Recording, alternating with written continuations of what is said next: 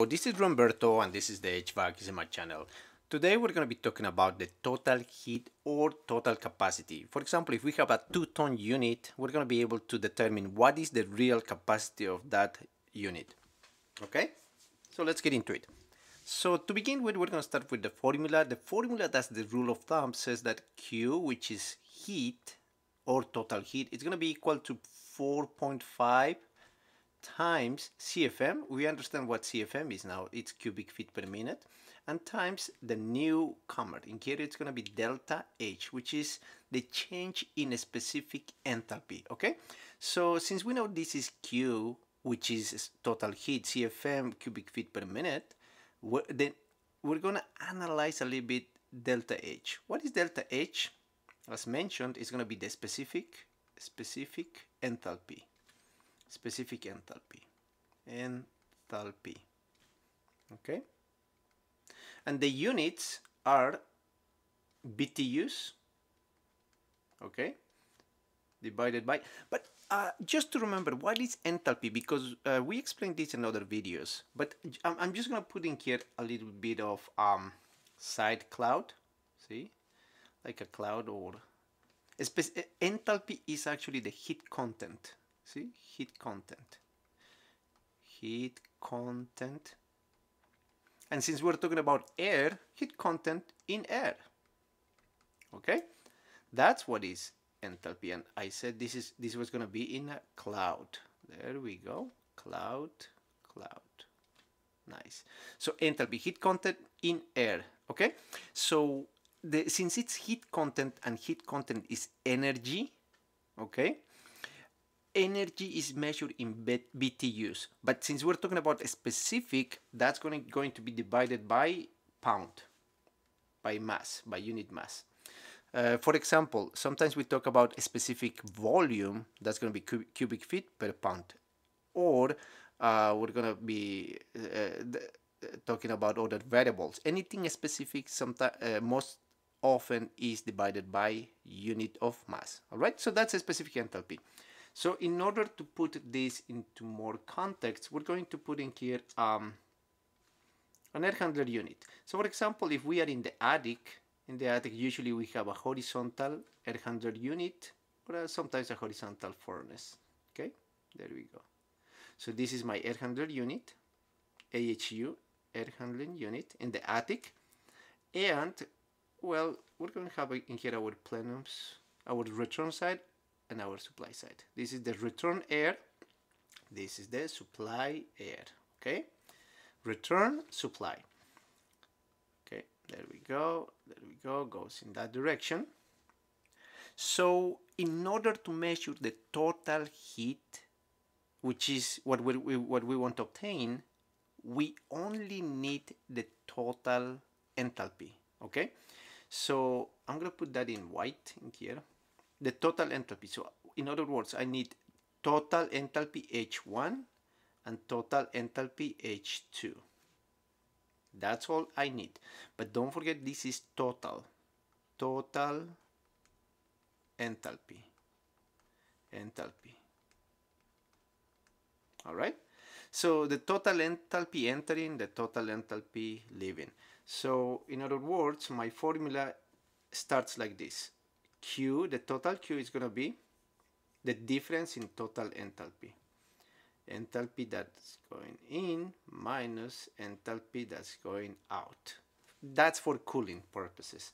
And let's make this a little bit better. So this is going to be the coil, this is going to be the fan, and this is going to be the electrical strips, heating strips. There we go. All right. So this is originally the formula. But what is total enthalpy? Actually, total enthalpy is going to be equal to the following. The total enthalpy is going to be equal to the mass times a specific enthalpy. So as you may have seen, this is small, see, small, and this is capital, cap, capital, right? small and capital. So whenever we're talking about total, this comes from the thermodynamic notations. So what we need to know is just like the total heat is going to be equal to the total enthalpy. That's why this is in cap, capitals. And uh, but the, the formula itself, the rule of thumb is going to be in small letters, which means specific enthalpy, okay? So since it's a specific enthalpy, we have this formula, the total enthalpy is going to be equal to the mass times a specific enthalpy, all right? And um, so that's how it starts.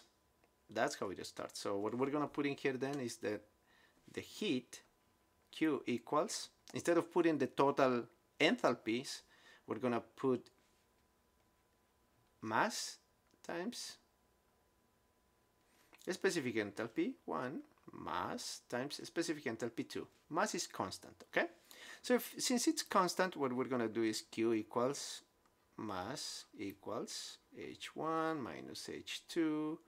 And if we want to divide this by time, okay, let's divide this by time, divided by time. See, I'm gonna put divided. If I'm dividing by time on this side, I need to divide by time on the other side. And you all remember that whenever we divide something in time, we put that as a dot, as a notation. So this is going to be BTUs per hour. Mass is going to be pounds per hour. So this is going to be M dot. And this difference in enthalpy, specific enthalpy, is going to be delta H. Okay? So this is the original formula. Original formula. Or let's say original formula. And we want to go to the rule of thumb. Let's put in here. Rule of thumb. Okay, the rule of thumb.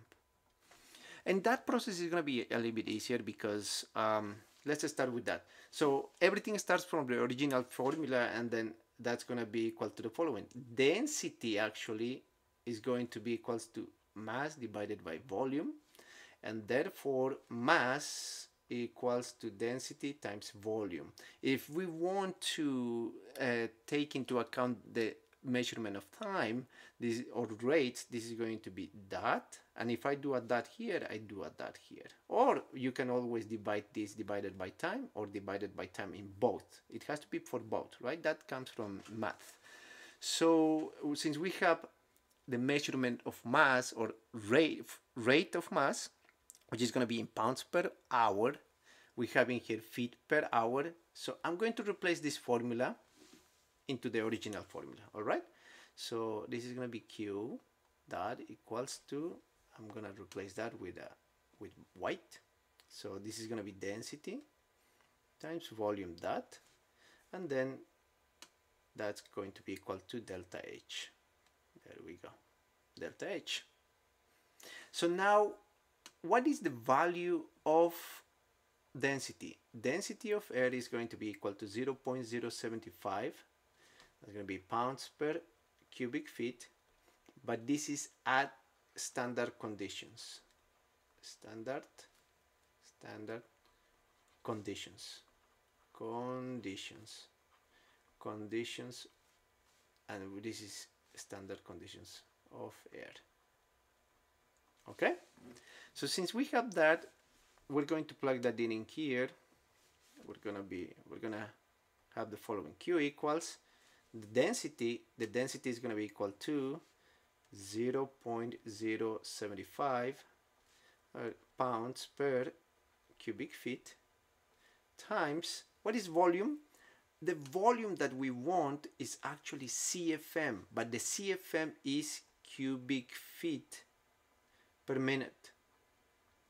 Okay, but we don't want Q, the total heat to be in BTUs per minute. We wanted Q to be in BTUs per hour.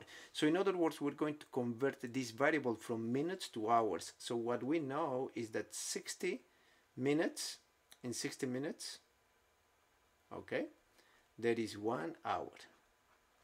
And then times delta T. And delta T is just going to be, the units of delta T are going to be BTUs per pound because it's a, a specific enthalpy see? A specific enthalpy. So let's make this a little bit better. So pretty much this is density. This is CFM all of this actually is um, flow rate see? Volume. And this is going to be change in a specific enthalpy. There we go. Okay. And if you want to see this a little bit better and demonstrate that this is consistent, see, minutes with minutes go away, and pounds with pounds go away, and cubic feet with cubic feet, and the result will give me BTUs per hour, which is pretty much what we're looking for. All right. So finally, what we're going to have in here is the following. Q is going to be equal to let's put this in white. 0 0.075 times 60 times what is remaining in here is this actually CFM right? Cubic feet per minute is CFM CFM times this is delta H. Delta H. Change in a specific enthalpy all right and finally q equals to 4.5 if you do the math it's going to be 4.5 times cubic feet per minute CFM times specific enthalpy. Okay here we go. We're gonna put that in a box. Okay. That's all. So now let's let's uh, recap this a little bit more so you're going to be able to find the CFM, okay? So how do you find CFM? CFM, usually you find it from the manufacturer specs. Manufacturer, manufacturer specs. Manufacturer, okay? So in other words, you're going to be able to find the uh, blower data, manufacturer blower data. Let's put blower data, blower data. So how do you obtain that? If you have the model of the furnace, you're going to need the model, model number, the model, and then that's going to give you the CFM, the model number of the furnace. The CFM at certain static pressure. So you if you have a table and you're going to be able to at usually 0.5 or 0.7 uh, the static pressure and based on that you're going to be able to obtain the CFM okay we have that then how do you obtain the, the specific enthalpy so for the specific enthalpy, you're gonna be you're gonna need just the following measurement. You're gonna you can obtain from here. Let's put this in let's say pink. Okay, so from here you need to measure the temperature one and temperature two wet bulb, wet bulb, and wet bulb. That's all you need. So if you find the wet bulb, wet bulb, you can go to the psychrometric chart. We can put in here the psi chart, psi chart, psychrometric chart. Or you can also use the online version. You can always go to Google and in order to go to Google, you can you need two data, two pieces of data. Uh, you need temperature. You can use the temp wet bulb temperature, and you can make a measurement measurement of dry bulb temperature. See, dry bulb temperature dry bulb temperature. In other words, if you're a technician and you're going to the attic, make two measurements. Make uh, use your psychrometer or uh, put your temperature probes and then measure the dry bulb temperature and the wet bulb temperature. The same thing for the supply side. Wet bulb temperature, uh, dry bulb temperature.